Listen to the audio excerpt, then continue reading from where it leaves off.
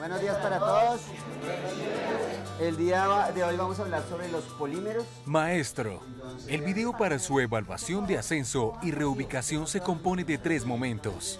Primero, usted debe explicar el contexto en el cual va a desarrollar su clase, qué ha planeado para ella y quiénes serán sus estudiantes además de la información que considere relevante para el par evaluador.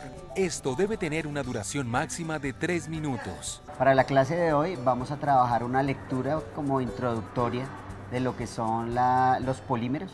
Segundo, se deberá grabar de 45 a 50 minutos seguidos y sin adición de la clase que preparó y registró en un formulario previo en la plataforma de evaluación.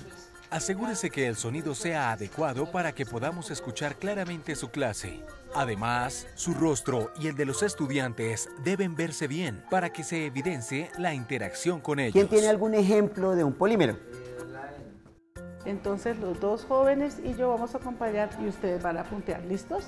Tercero, debe hacer una reflexión de la clase que acaba de ser grabada. Aquí, usted realizará un análisis crítico de ella explicar qué podría mejorar y qué actividades o momentos considera que pueden ser resaltados como buenas prácticas de aula.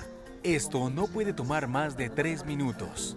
Los estudiantes tienen un gran potencial de trabajo. Obviamente pues yo ya sé que tengo que dejarles el espacio para que hagan su registro de tablero independiente. Pasar sobre ello y avanzar otro pentagrama, otra frase musical podría ser.